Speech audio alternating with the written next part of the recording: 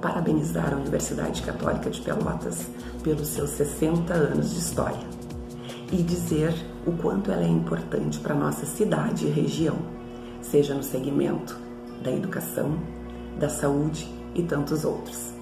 A Universidade Católica entrou na minha vida em 1996, quando passei a integrar o quadro de colaboradores do Hospital Universitário São Francisco de Paula.